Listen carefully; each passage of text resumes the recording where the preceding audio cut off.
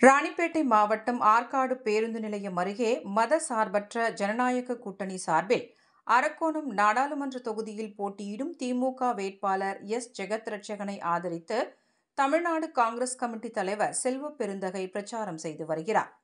இதற்காக வருகை தந்த அவருக்கு வாலாஜாபேட்டை சுங்கச்சாவடி ஆற்காடு நுழைவு வாயில் ஆகிய பகுதிகளில் காங்கிரஸ் கட்சியின் நிர்வாகிகள் மேலதாளங்கள் முழங்க உற்சாக வரவேற்பு அளித்தனர்.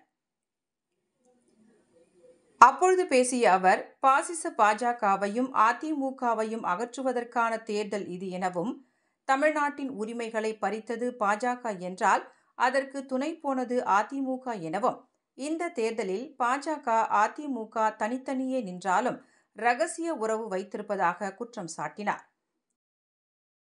எதற்காக வாக்களிக்க கூடாது பாசிச பாஜகவிற்கு? எதற்காக வாக்களிக்க கூடாது? பாசிச பாஜகவிற்கு துணை போன அதிமுகவிற்கு.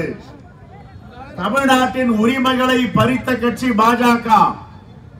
தமிழ்நாட்டு உரிமைகளை பறிகொடுப்பதற்கு காரணமாக இருந்த அதிமுக.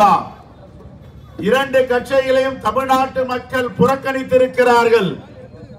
புறக்கணித்திருக்கின்ற கட்சிகள் தனித்தனியாக நின்றாலும் ஒன்றாக ஒரு உறவு வைத்து ஒரு அண்டர்ஸ்டாண்டிங்கில் தேர்தல் களத்திலே நிற்கிறார்கள்.